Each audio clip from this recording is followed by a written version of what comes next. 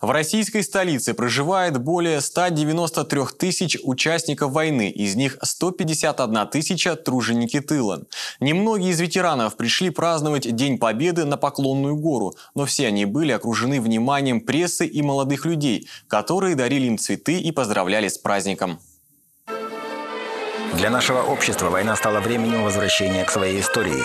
А главное, многим из русских людей война помогла обратиться к Богу. Десятилетия атеистической пропаганды не смогли вытравить из народной памяти веру, и в страшные военные годы люди вновь потянулись в храмы и вновь вспомнили слова молитв. Верили Бога, но знаете как, э, так верили. Мама была партийной, папа был партийный.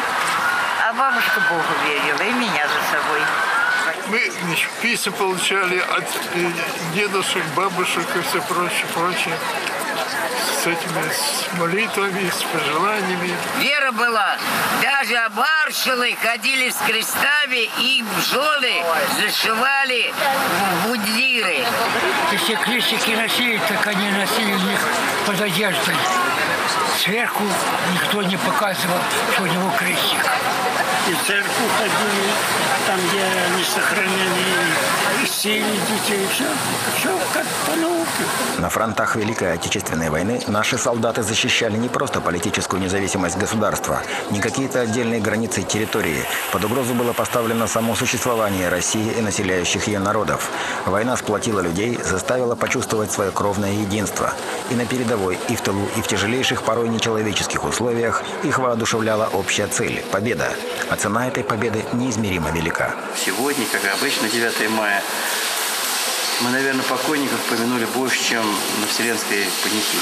И именно вера, обретаемая в сокровенных тайниках сердца, многим помогла пережить все те непостижимые ужасы, которые принесла в нашу жизнь безбожная власть, а затем и страшная война. И я надеюсь, что, как в те времена, в глубине души у всех есть вера, которая и составляет тот фундамент, который позволял людям тогда противостоять врагу, Война была священной именно потому, что она смахнула с людей все наносное. Многие из тех, кто пережил фашистскую агрессию, в глубине души носили веру в Бога и хранили ее как высшую правду, как высшую ценность жизни.